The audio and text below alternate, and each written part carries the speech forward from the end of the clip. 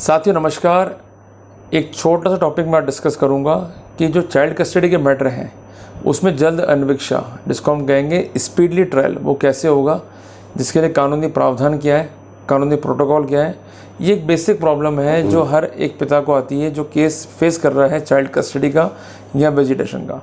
देखो मैंने आपको कई वीडियोस में ये कहा है कि do not be in anxiety to file a child custody case जब भी आप चाइल्ड कस्टडी केस फ़ाइल करते हो या करना चाहते हो तो आपको कुछ बिंदुओं का ध्यान रखना होगा ताकि आप ऐसे मुद्दों को ईजिली जो है कंटेस्ट कर सको और इसमें एक अच्छा रिज़ल्ट जो है प्राप्त कर सको।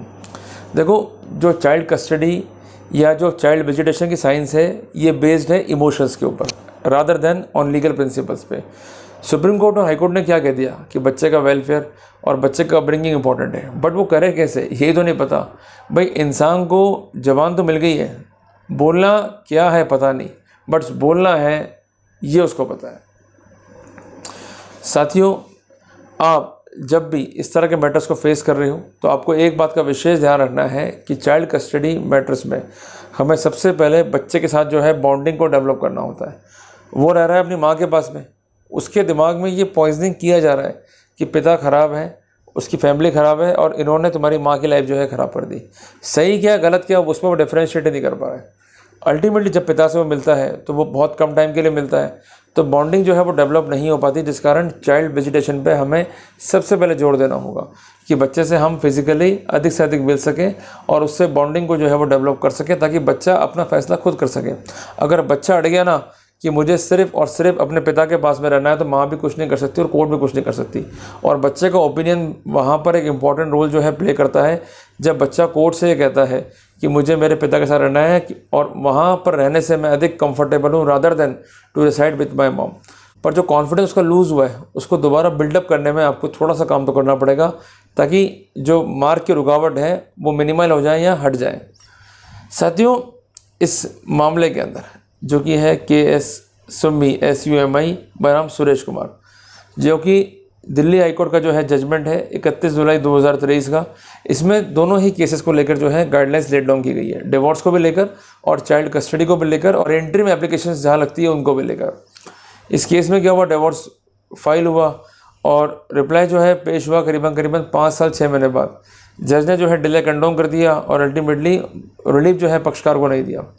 जो पक्षकार बैठे तब वो हाईकोर्ट पहुँच गया। उनका कहना यह था कि लिटिगेशन जो लड़ा, उसमें रिज़ल्ट आया या नहीं आया, वो बात की बात थी। बट जिस तरह से लड़ा गया लिटिगेशन वो एक मौकरी था जस्टिस सिस्टम का, जहाँ एक अगर हम कहते हैं कि भाई न्याय शीघ्र मिलना चाहिए। अगर न्याय में देरी हुई तो जो कंसर्न पक्षकार है, उसे कोई रिलीफ जो है हम नहीं दे सकते। वहीं दूसरी ओर लिटिगेशन का मज़ाक बना के रख दिया है, इस तरह की प्रक्रिया ने, जहाँ पर पाँच साल छः महीने बाद भी रिप्लाई को रिकॉर्ड पर रखा जा रहा है। तो लिटिगेशन का जो प्रोसेस है, वो तभी इम्प्रूव हो पाएगा जब जज खुद केस मैनेजमेंट पे जो है ध्यान देंगे। साथियों, आप सब जानते हैं कि गाइडलाइंस जो है फ्रेम की गई हैं ताकि टाइमली जो है रिप्लाई आ सके और ये गाइडलाइंस जो है खासकर कंसर्न है with the commercial court act but ऐसी कोई डायरेक्शन या ऐसी कोई लिमिटेशन जो है सीपीसी में नहीं है इवन हिंदू मैरिज एक्ट में नहीं है, ऐसा कोर्ट ने ऑब्ज़र्व करा। कोर्ट ने एक इंपॉर्टेंट जजमेंट जिसका नाम है सलीम एडवोकेट बार एसोसिएशन बनाम यूनियन ऑफ़ इंडिया जिसका साइटेशन है 2005 वॉल्यूम छः S C C page three four four में यह स्पष्ट किया है कि जो मैट्रीमोनियल लिटिगेशन है they should be on the fast track they should be on expedited track but इसके बावजूद भी दुर्भाग्य का विषय ये है, ऐसा कोर्ट ने ऑब्ज़र्व किया है कि ऐसे मामले जो है टाइम पर निपट नहीं पाते इसका परिणाम क्या होता है कि जो कंसर्न पक्षकार है, उनको इसके गंभीर परिणाम जो है भुगतने होते हैं। आज कोई डिवोर्स केस जो है, चल गया पाँच साल, सात साल, दस साल तो क्या फ़ायदा होगा? ऐसे ही चाइल्ड कस्टडी केस चल गया, पाँच साल, दस साल तो क्या फ़ायदा रहेगा? तो जो भी रेमेडी है, वो मिलनी चाहिए या नहीं मिलनी चाहिए कोर्ट को तय तो करनी ही करनी है बट तय करने के लिए कोर्ट को स्पीडली मैनर में जो है वर्क करना होगा। अगर कोर्ट स्पीडली मैनर में वर्क नहीं करता है तो ऐसी रेमेडी से होना है कि व्यक्ति जो है रेमेडी लेस ही रह जाए। क्योंकि एक और, हमारे देश में सिद्धांत है उबी जस्ट ई बी रेमेडियम मीन्स जहाँ पर राइट है, वहाँ रेमेडी भी है।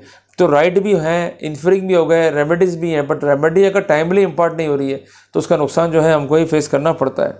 साथियों कोर्ट ने इस केस में कुछ गाइडलाइंस दी, और इसके अलावा इंपॉर्टेंट जजमेंट है ऑनरेबल सुप्रीम कोर्ट का, इम्तियाज़ अहमद बनाम स्टेट ऑफ़ यूपी का, जिसका साइटेशन है 2017 वॉल्यूम 5 एससीसी पेज 658 इस पर भी जो है रिलाई किया।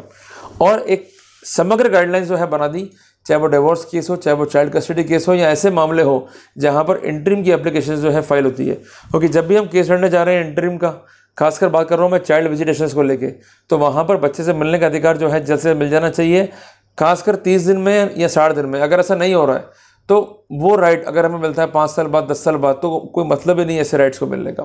तो उस स्नैरियो में अगर कोर्ट डिले कर रहा है तो प्रैक्टिकली आप ये अर्जी लगाइए कोर्ट में। जज जो भी करे, वो जज जाने बट अगर जज इस अर्जी को कंसिडर नहीं कर रहा है, उसको डिस्पोज ऑफ़ टाइमली नहीं कर रहा है तो वहाँ पर हाई कोर्ट जाकर आप आर्टिकल टू टू सिक्स संविधान के तहत रेमेडी जो है प्राप्त कर सकते हैं। वो गाइडलाइंस क्या है? कि जो भी कार्रवाई पेश होगी, उसमें जो अपीरेंस की डेट है अपोजिट पार्टी की, वो तीस दिन से कम ही रहेगी या तीस दिन तक रहेगी। अपोजिट पार्टी अपील होगी, उसको रिप्लाई पेश करना है। तो इस समय को 120 दिन तक एक्सटेंड कर सकते हैं बट इसके लिए विशेष कारण देने होंगे और ये 120 दिन काउंट कहाँ से होंगे? जिस दिन सम्मान आपको सर्व हो गए हैं। तीसरी इंपॉर्टेंट बात, यहाँ पर एप्लीकेशन पक्ष का लगा सकते हैं डॉक्यूमेंट को प्रॉपरली इंस्पेक्ट करने की रिप्लाई देने से पहले बट ये अर्जी भी तीस दिन में तय होनी है और इसके अलावा एडमिशन टनल की अर्जी भी आ सकती है रिप्लाई फ़ाइल करने के बाद में भी। बट ये अर्जी जो है, तीस दिन में आ जानी चाहिए रिप्लाई फ़ाइल करने के और फिफ्टीन डेज़ में कोर्ट को उसका डिस्पोजल करना ही करना है। उसके बाद चार वीक्स में कोर्ट को जो है इश्यूज़ फ्रेम करने हैं। छः महीने में कोर्ट को जो है एविडेंस को रिकॉर्ड करना है दोनों पक्षों की। और उसके बाद रिटर्न आर्गूमेंट अगर हैं तो उसको रिकॉर्ड पर रखना है। पर ये आर्गूमेंट जो है, हम 15 डेज़ के अंदर अंदर दे सकते हैं। यदि हमने ऑरल बहस कर ली है, या तीस दिन पहले दे सकते हैं, यदि हम ऑरल बहस करना चाहते हैं। और उसके बाद कोर्ट को तीस दिन में मैटर को जो है डिस्पोज ऑफ़ करना है। तो ये गाइडलाइंस जो है, काफ़ी इंपॉर्टेंट है। और कोर्ट ने स्पेसिफिक भी किया है कि यदि भी प्रोविज़न नहीं है, पर जब तक प्रोविज़न नहीं आता तब तक ये गाइडलाइंस जो है अमल में रहेगी। तो कुल मिला के जब भी आप केस को फाइट कर रहे हैं तो इन गाइडलाइंस का विशेष ध्यान रखिए, ताकि हमारे जो राइट्स कानून में हैं, वो इन्फ्रिंग ना हो, वो इंट्रैक्ट रख सकें, और यदि वो इन्फ्रिंग हो रहे हैं तो हम एज पर लॉ रेमेडीज़ को जो है वो ऑप्टेन कर सकें। उम्मीद करता हूँ कि आज के टॉपिक ने आपको इनलाइटन किया होगा। आज के टॉपिक के माध्यम से आपने महत्वपूर्ण जानकारियाँ child custody case visitation case इसका अर्लियर डिस्पोजल के संबंध में जो है प्राप्ति होंगी। साथियों, मिलते हैं जल्दी एक नए टॉपिक के साथ। टिल देन जय हिंद जय भारत